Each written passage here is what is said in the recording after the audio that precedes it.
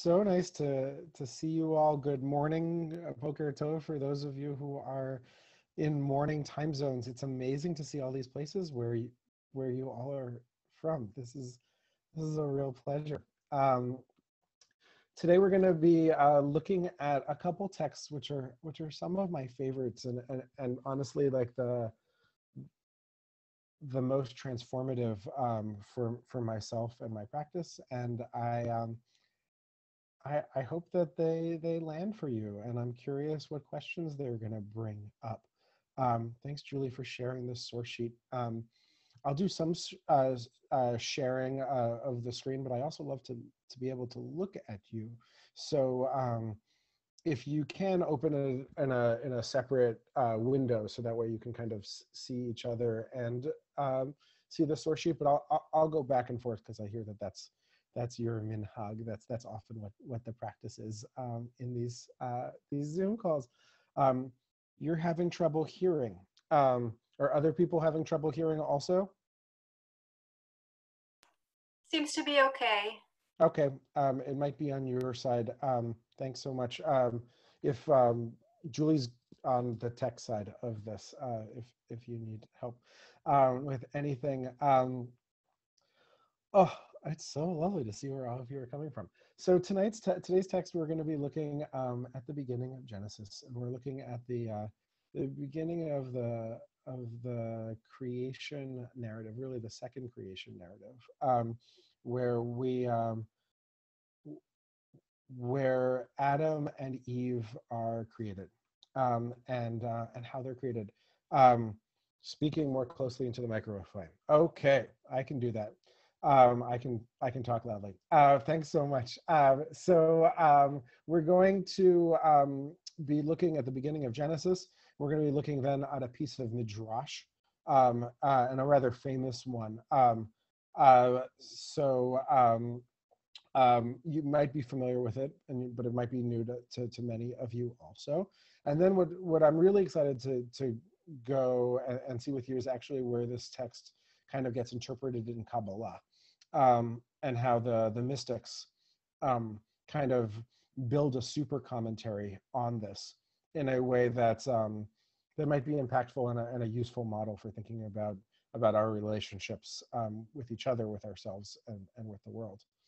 Um, so um, I guess I should just, uh, for the for uh, for time's sake, uh, I'll I'll read the texts, and um, uh, and after um, after I read the the first text, uh, we're gonna I'll take some comments and questions um, and, and wonderings about what this means. Obviously, this text has been used um, because it's so famous um, in many different ways throughout history, and some of them have been um, pretty exclusionary, um, uh, uh, especially for folks uh, based on like uh, the the gender assumptions that, that, go into this and the sexual assumptions that go into it.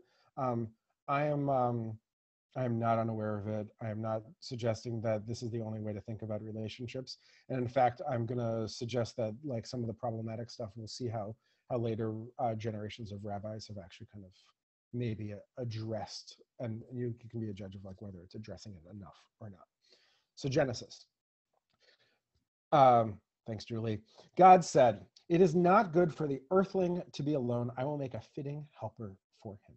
And God formed out of the earth all the wild beasts and all the birds of the sky, and brought them to the man to see what he would call them. And whatever the man called each creature, that would be its name. And the man gave names to all the cattle, uh, and to the birds of the sky, and to all the wild beasts. But for Adam, no fitting helper was found. So God cast a deep sleep upon the man, and while he slept, God took one of his ribs and closed up the flesh at its spot. And God fashioned the rib that had been taken from the man into a woman um, and brought and God brought her to the man. Then the man said, "This one is the uh, at last is the bone of my bone and flesh of my flesh. This one shall be called woman, um, for from man she was taken. Hence, a man leaves her father, his father and mother, and clings to his wife, so that they become one flesh." Um, so, um, my primary question for here is like, what does this say about the nature of relationships? uh, romantic relationships, um, in particular.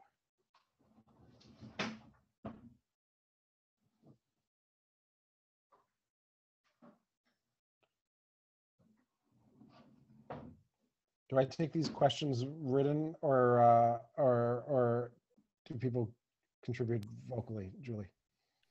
Usually we go through the chat, but we can definitely unmute people as you wish. okay, so so so just throw some things out in the chat. That works great because we're we're we're being efficient for time in this 30 minute block. Um,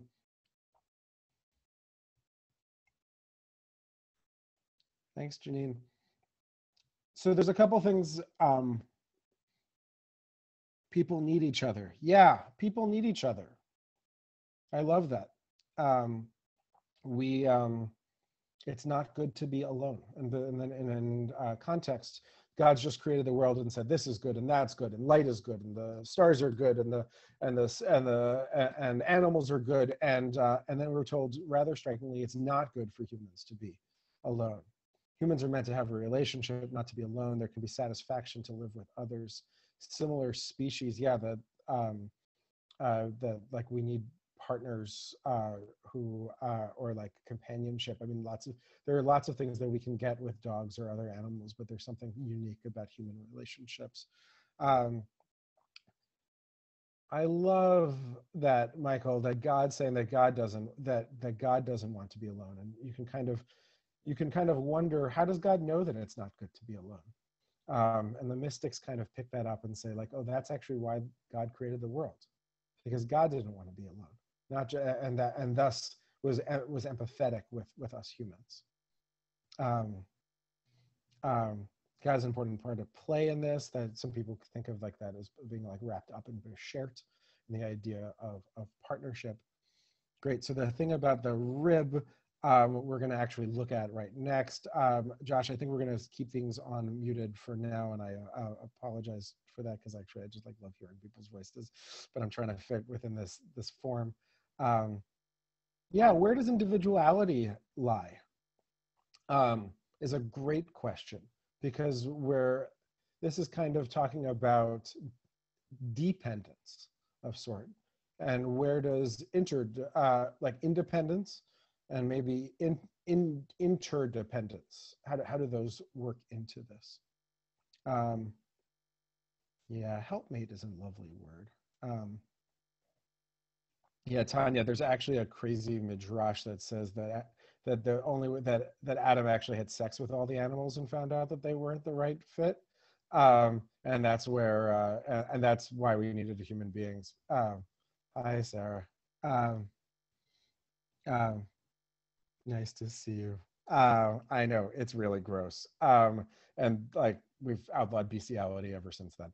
Um, but uh, but there's like this thing about um, uh, like on one level, the biblical idea of knowing is is sometimes understood to be sexual. Um, yeah, man's dependence on woman, but not women's dependence on man. So perhaps it's an interesting way it shows that woman is superior because she doesn't need to cleave. Yeah. Um, there is something, there's something very gendered about the last line. I want to just like highlight it. I work with a lot of couples transitioning to marriage. I run cohorts for um, folks. I right now I have a cohort for activists and a cohort for people in interfaith relationships or, or in multi-faith relationships. And, um, and people often think about um, the question of leaving your parents' house in, in order to create a new partnership and how that how those dynamics are constantly changing between parent and child as people go through different life stages. Um, so um, Lilith is a great question, and we're just, and this is, um, it'll take us too far afield. Um, so um, we're going to look at the next text, and I'll actually, I'll, I'll screen share. Um, uh, yeah, and separations is totally what we're what we're doing. So um, here is this is Bereshit Rabbah. It's eighth century uh, rabbinic midrash, and uh, on, on the book of Genesis. Um, Rabbi Yirmiyah, son of Elazar, said, when God created the first earthling, it was created an androgynous, intersex. Uh, and thus it is written, male and female did God create them. The rabbis don't have a concept of gender, um, but they definitely have a concept of, of um, they, they really know human bodies and they know that not all humans fit into the binaries of, uh, of men and women. Um, and in fact, the rabbis of the Talmud at this period actually had six different sexes that they were very excited about um, putting people into. Um, but this is saying that the that men and women, or male and female, God created them. That this this first being actually was both male and female, and that's how they were able to be separated. Um, another text here, so so another interpretation, which is kind of an interesting parallel. Rabbi Shmuel Bar Nachman said, when God created the first earthling, God created him with two faces, one on each side, and God later split him along the middle, forming two backs. They, the other rabbis, challenged him, saying, "But it's not written that God took one of his ribs?" Shmuel, this the author of this, said, um, when the word uh, it's not, it doesn't mean a rib, but it rather means a side. So um, I, am not in the, the chat right now, but I but someone said I, I, heard that it didn't mean rib. This is the text. It actually comes from earlier places. There's there's much earlier, almost like uh, first first century texts that also kind of say this say this, but not quite as clearly. But the first human being was almost created like the if you imagine the Roman god Janus, that they were two uh, attached um, beings that were that were fused back to back, um, and um, and they were they were able to be two faces but they they couldn't be partners because they were they couldn't see each other. Um, and uh, and and that that being was lonely. So god put it to sleep sawed it apart and then it was able to come back together face to face. Um, so that's a um, a really different take. Um, it's uh, it it might change some of the dynamics um, of who is. Um, um, Sarah, can you just send me an, an, an email about that because I'm I'm doing this, but that sounds great. Um, the uh, maybe that's where the slang two backed beast came from. I didn't know that. Um, it's interesting, yeah, because the first human being was two backed. They actually only had one back is the image. Um, and then after they're separated from each other, then they finally have two backs. Um, um, yeah, so what Tanya is saying that God, that God, that Hashem has masculine and feminine natures is actually a, a parallel midrash that says that if humans are created in the image of God and humans are, are created as intersex, that um, actually maybe God is also intersex, is also an androgynous. Uh, this is an eighth century text um, because um, because that's how all people could be created in the image of God is if all if God actually contains all of our aspects. Now, that's a pretty anthropomorphic uh, image that lots of other rabbis, especially like Maimonides, would reject. But it's an interesting perspective, especially as we like moderns and postmoderns try to like make sense out of changing um, awareness um, for for for gender.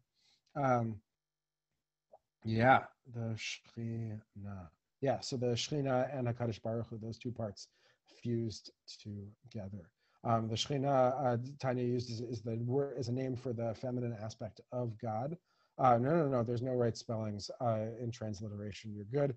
Um, the um, uh, the Shekhinah is um, is understood in the mystical tradition to be a feminine aspect of God, kind of paralleling a particular masculine idea of God um, and that they are constantly striving towards union. And what we're going to see, and actually it's a great transition because this next text is um, actually gets to the dynamics of that union. Because for the mystics, there's actually two different types of union between a Shekhinah and HaKadosh Baruch Hu, the masculine and feminine aspects of God, but also with all of us with each other. This, uh, this, the rabbis read it almost like a metaphor um, this back-to-back relationship um, and front-to-front relationship becomes not just a once a, a midrash about what happened once once for the for our earliest ancestor, but a transition that we all go through. So I'm going to share our text. Your screen again. You should have this all on your sheet as well.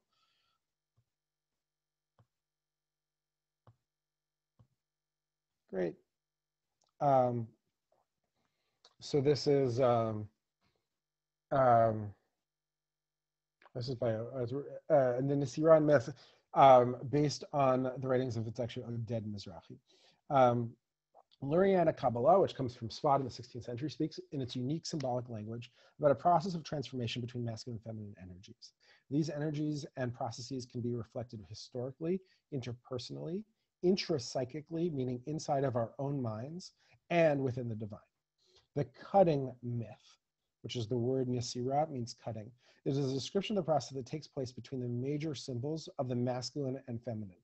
The cutting process has many details, but in summary, there are four stages to it. The first stage is when the masculine and feminine do not face each other. Their backs are fused to each other, like a joined twin sharing the same back. They literally have each other's back perpetually in a protective stance, but unable to see each other. In this stage, the feminine is smaller than the masculine and she lacks the ability to share her own light. Two, the second stage is when things are changing. The masculine falls asleep, apathetic, unaware, unconscious, and numb. Meanwhile, the feminine is growing. Three, in this stage, the feminine and masculine separate from each other. The feminine grows to the same size as the masculine. They each grow their own back where they were once fused. This stage is often marked with deen, sharp judgment necessary for cutting. Four, the final stages where they awaken as two complete beings. They no longer need deen, and they turn, the two turn to face each other. They meet again, but now they are equal. They are separate and independent beings, discovering that, that each of them is different yet equal to each other. They can look eye to eye, face to face, soul to soul. Um, I'm just going to let you look at this. It's also on your sheets for a second. Um, and I'm going to ask the question as you're reading this. Um, so, so this all happens. It's um, for the mystics in every relationship. It happens inside of ourselves with the different parts inside of us. It happens in every relationship, in, in every relationship of lovers.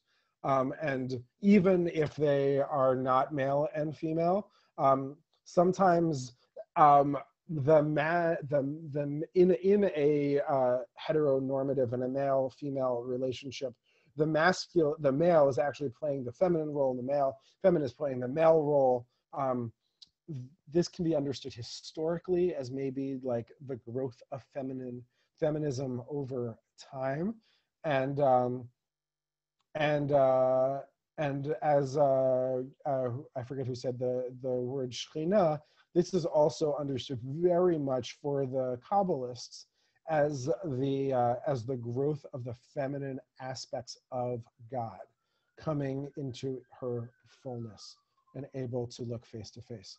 So I'm going to stop the share and we're going to take some some thoughts in the in the chat. Um, uh, Sarah says, uh, so uh, degrading, no equality. Okay, there we go. Um, the uh, Jay asked about panim el panim. Panim face-to-face relationships. Uh, it's not the first time that this idea comes up. In fact, that actually comes from the Torah itself where God, where Moses uh, asks slash demands to have a relationship, a face-to-face relationship with God, and God says, "You can't see my face."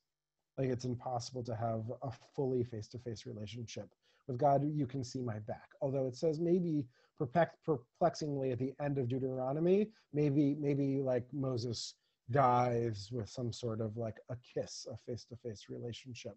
Um, so you can't live and have a face-to-face relationship, but maybe there's room for that without like beyond life.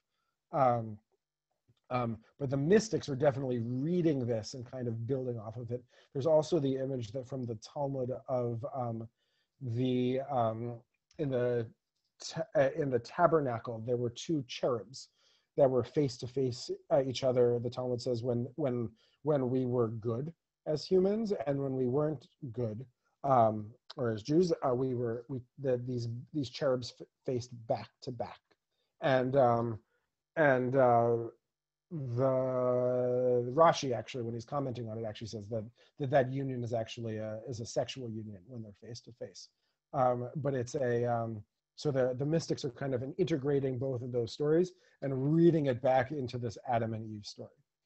Um, um, wonder the animals were created in the earth, uh, if they're male and female, or the yes, the question of like gender and animals is a really great one. Um, sounds like growing up. Yeah, so there's uh, Michael uh, Margolia, um, or Margolius, uh, um, says that like it, this might be like a developmental thing over the course of our lives, where uh, we like learn to have a more face-to-face relationship, and like makes room for lifelong learning. Um, definitely, most of us pretty early start with instrumental relationships. Uh, I have a kid, I have a two and a half year old and a six month old, and they they're like you know super warm and loving with me. But part of it is like um, they, they don't they don't see me um, in my essence. Um, it's not like where kids start. Um, off topic. Um, away on Netflix. I haven't seen it, but that sounds really. Um, wandering while in space. When would Shabbat? Okay, uh, there's I I would love to teach another class one day about holidays uh, in space. It's actually like a real uh, passion of mine, um, and I had a conversation about it with some Harvard students yesterday. Uh, I'd be happy to come back and do that. Um, so the question about uh, God, uh, the Torah never says that God is male, and I want to like this is like great to to like really say. Hebrew, all Hebrew words are are are gendered and Hebrew defaults to the masculine gender usually uh, when describing God.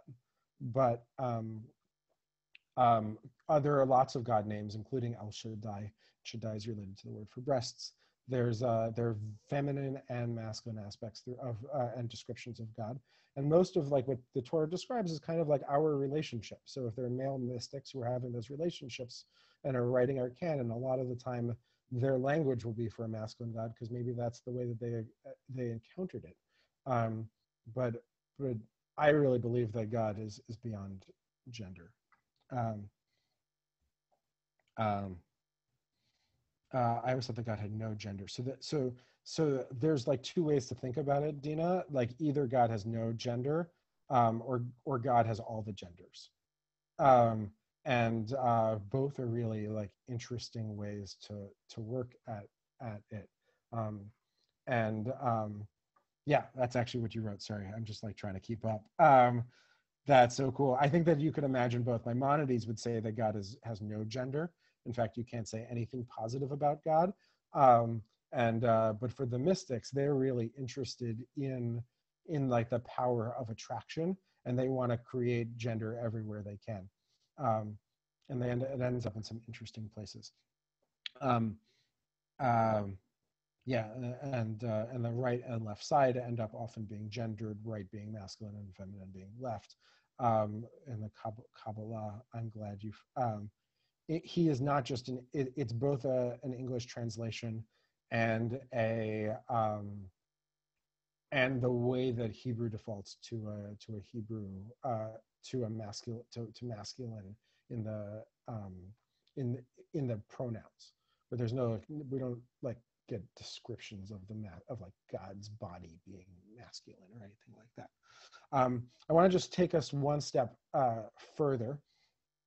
Um, there's also like a really cool um, I forget her name, but she's a um, um, there's she's a midrashist at HUC in New York, and she said that um, when it says they man that God created man and woman, that those are two examples of gender uh, of the genders of humans, but not but it's but it but that that's a um, it's it's not an exhaustive list.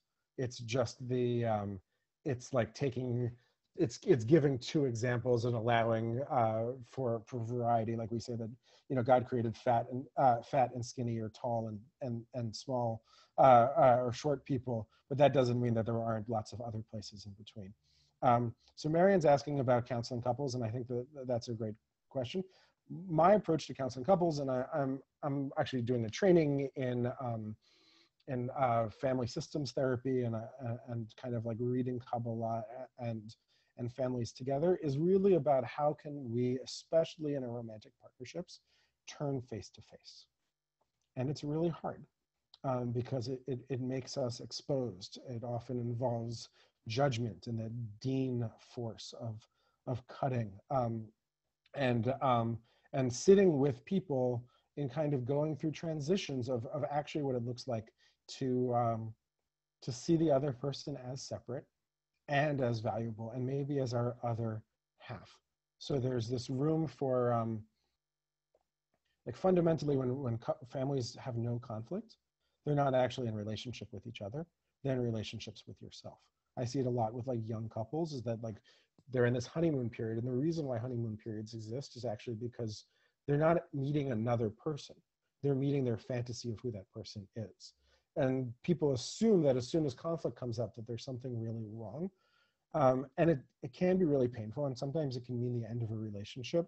But sometimes when you work through conflict um, what you actually can can find is that you're you're actually in a relationship with someone who's not you with someone who's different. Um, and and and that's actually a very powerful place to be able to to see someone. Um, and, and, in fact you can't see their uniqueness and their value um, as long as they're just your um, your fantasy of who they are who they should be. That doesn't mean that there's not lots of relationships that don't work when people are in this cutting process.